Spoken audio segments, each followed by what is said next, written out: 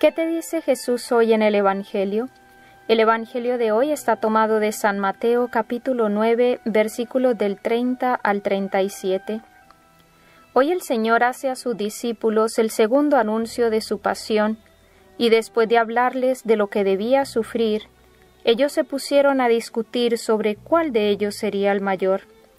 Entonces Jesús, tomando a un niño, lo puso en medio y les dijo, El que reciba a un niño como este en mi nombre, me recibe a mí. Primero vemos, hermanos, que Jesús habla muy claro a sus seguidores sobre la suerte que le espera a él y también la que le esperará a los que quieran seguirle, la cruz. Sin embargo, como sabía que esto es muy duro de digerir para el ser humano, les anuncia también que después de muerto resucitará. Siempre Jesús mezcla lo adverso con lo próspero, para que nunca perdamos la esperanza ni nos dejemos abatir por la dureza del camino. Nunca debemos perder de vista un punto fundamental, aquello que le dijo la Virgen Inmaculada a Santa Bernardita. No te prometo hacerte feliz en esta vida, sino en la otra. Es decir, la felicidad plena y completa la tenemos reservada para el cielo. Por eso tantas personas se estrellan, porque la buscan en este mundo y no la van a encontrar nunca. Esta vida, después del pecado original, está sembrada de espinas, de sufrimientos, de dolores. El descanso y la paz están reservados para el cielo. El que aspira a la santidad debe tratar de asimilar cada vez más ese pensamiento. Vivimos para el cielo. Mientras estamos aquí, vamos de paso, estamos en el destierro, en peregrinación, y esto nos ayudará a no apegarnos tanto a las cosas de aquí abajo, y en cierta manera a sufrir menos, o por lo menos con más paz y tranquilidad, sin desesperarnos.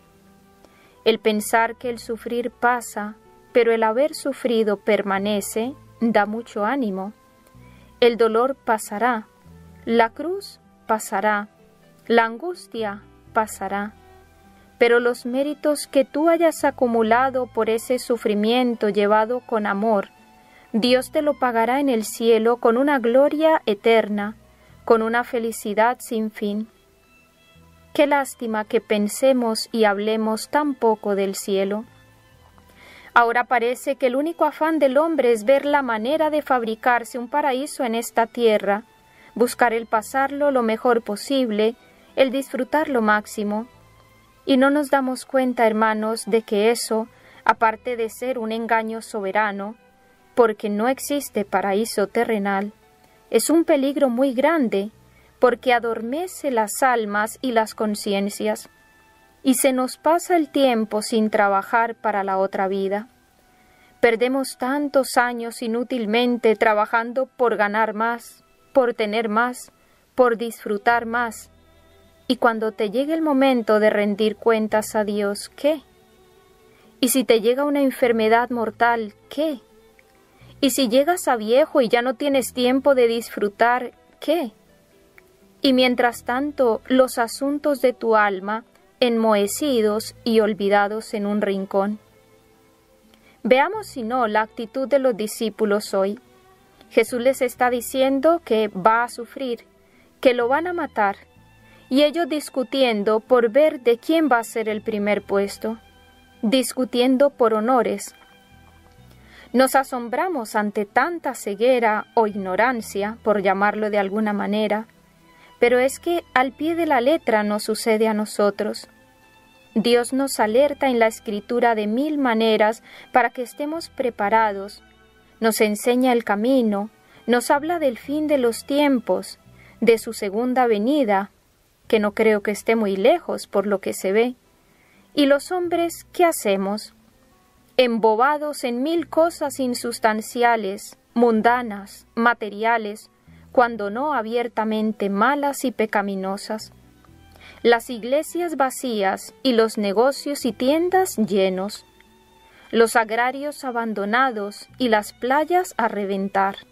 ¿Dónde tenemos la cabeza? ¿En qué estamos pensando? No, hermanos, que tenemos un alma que salvar, que solo se vive una vez en la vida, y de cómo la hayamos vivido depende nuestra eternidad, y no hay otra oportunidad.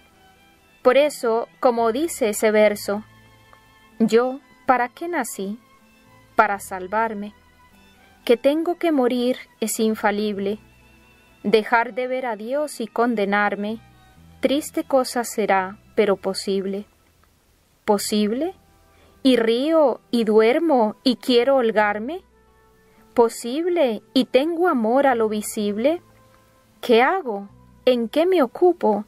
¿En qué me encanto? Loco debo de ser, pues no soy santo. Por eso, hermanos, acojamos hoy la enseñanza de Jesús. Ser niños por la humildad, por la docilidad a sus preceptos, por la obediencia a sus mandatos, y recordemos que solo tenemos el hoy para ser santos. No desaprovechemos las oportunidades que el Señor nos ofrezca para ello. Como lo hizo el buen ladrón, en unas horas se ganó el cielo por la confianza y el amor. Y si hasta ahora no hemos aprovechado bien el tiempo, hoy el Señor nos ofrece la oportunidad de abrirnos a su gracia y dejarnos transformar por Él.